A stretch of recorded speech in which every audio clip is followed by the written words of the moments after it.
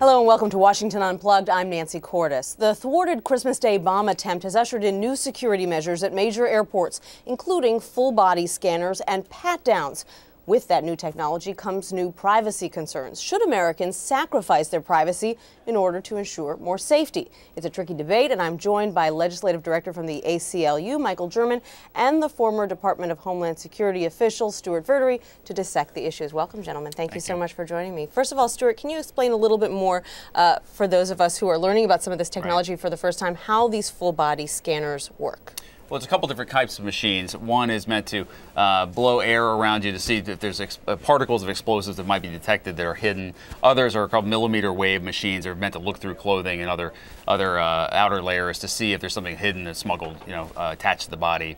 Uh, the question I think at hand is either of these machines would they have helped deter this particular plot or similar plots? And there, there's a big question about that right now. I mean, there a lot of experts say yes, this is more advanced technology, but it might not necessarily have detected such small amounts of liquids on the body. Nothing is foolproof, that is for sure. And I think the question is what gives you the best odds of, de of deterring plots, all, one, and detecting people who are willing to go through with them. And obviously, what are the safeguards in place that, that make people feel comfortable with using those types of machines when they're traveling? And Michael, that's what bothers some privacy advocates like you who say these machines are just too invasive because they essentially show an image of your body on a screen that a TSA employee can look at. Right. I, I mean, he mentioned a, a, number of different technologies, but with the body scanner technology that actually does create electronic image of your naked body, you know, that has a huge privacy downside. So when the government is looking at the various technologies that are available, whether it's the trace detection puffer machine or something else, you know, first they should determine is this the most effective technology? With the body scanners, our concern is considering the types of uh, methodologies the terrorists are using today, hiding the device in sensitive areas, using uh, plastic explosives that are sometimes, at least according to some studies, undetectable by these machines, even using uh, body cavities to secret devices. The body scanner machine is not the best technology against the current threat.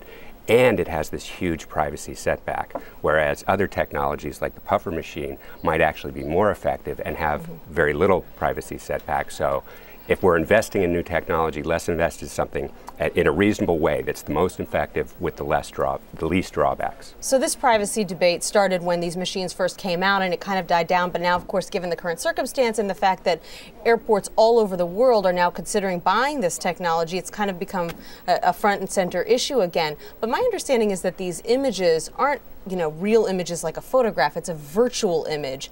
You don't even see your face, and it's being looked at by a TSA employee or some other kind of security official who's in another room who never sees you face to face.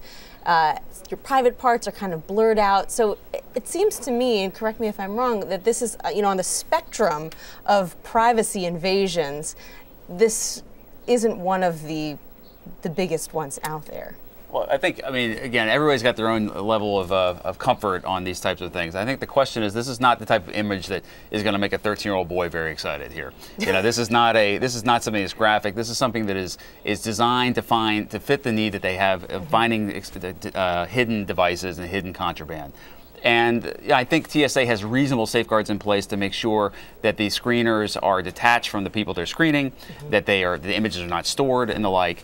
I think the question is, you know, is this the best technology? Um, nothing is foolproof. And the question is, can you come up with a layered system of defenses with better IDs and better physical checks and better watch lists, none of which by themselves are perfect, but put them together and they're going to give you the best chance to deter the plots that we know are out there. And it sounds like that's kind of what you're saying too, is that, you know, the privacy issues notwithstanding, there are real questions about this technology and whether it would catch the kinds of things that terrorists are now attempting to smuggle through airports. Right, and that there should be a number of levels, that, you know, the most intrusive technique does not have to be used against every traveler, only where the government has some factual basis for believing that this technique is the most effective and has the least drawbacks, or we have the most evidence to justify using that type of intrusive techniques. And one of the things we have to remember is, you know, our, our liberty was very hard won, and, you know, we shouldn't sacrifice it on the promise of better security you know, if this is not actually the best device to, to make us safer, let's let's look for more technology rather than investing in a system that, that has already undergone testing and found been found wanting. The British authorities tested this and said it was not an effective technique, mm-hmm. and and that's why they stopped using it. So, you know, while there's this real, you know, urge to do something and it know, sounds good. You know, full right. body scanners. Right. And, and actually, there's a lot of, as you said, there's a lot of controversy in Great Britain right now because um, the Prime Minister has said, has said we're going to buy these, we're going to use them, we're going to expand. And uh, other members of his government are saying, well, hold on, we're not sure that these really work that well. If they, if they aren't the be all, end all Stewart, you're a former FBI uh, official. What, what is out there? Well, we definitely need to do more on research and development of technology that will do a better job with lower impact on travelers. Make, we need to make sure people can get through in a reasonable amount of time, that they can make their flights and that kind of thing. So we have we have starved the research and development budget at Homeland Security the last couple of years. We need to do more in that area. The question is though, we, we can't wait for R&D to come two, three, five years down the road. What do we do with the best tools that we have? It is not just a physical screening issue. Every passenger should be screened for explosives. Right now, that I think most Americans would be surprised they're not. Most passengers are not screened for explosives. Mm-hmm. They're screened for weapons only. And then what can we do on the watch list side, which is hugely important on making sure that connecting the dots from intelligence to your border enforcement folks are made. That's the weakness here we've seen the president has identified. Now, I would, I think we would probably agree that we should at the same time couple the watch list uh, issue with redress. If somebody feels that they've been erroneously watch listed or they have a name, unfortunately, that's similar to somebody on a watch list, give them a chance to clear their name. Nobody should have an electronic stain on their record they have no ability to, to appeal to. Mm-hmm. So that has to be part and, part and parcel of our enhanced security as well. I just want to ask you this one last question about these new TSA rules that have gone into effect where the TSA is essentially asking the rest of the world to step up screening on people who are coming from or through 14 countries. Uh, and, and some um, some people are saying that's profiling. You know, basically you're you're saying anyone who comes from this country, whether you have any kind of record or not, you're going to have to go through these more invasive procedures. You're going to have a full body pat down, or you're going to have this X-ray screening, and your bags are going to be searched. Is that something you have an issue with? That's exactly what it is. It's a proxy for profiling, and it will be just as effective as racial profiling in other contexts. Um, and and you know that goes a long way to also discussing the watch list, which has you know, the Terrorist Screening Center watch list has 1.1 million names mm-hmm. on it. You know, I mean, it's obviously completely bloated and un- unworkable. Mm-hmm. And it doesn't have the names of real threats to security on it. So, so that's a, a process that is in grave need of mm-hmm. reform, and we've known that for some time. On uh, the other hand, these are countries where we know that there are terrorist threats. Well, we already, you call it profiling or call it whatever you want, we already do this right now. We have a system where People from 35 countries do not have to get a visa to come to the United States. Everybody else does.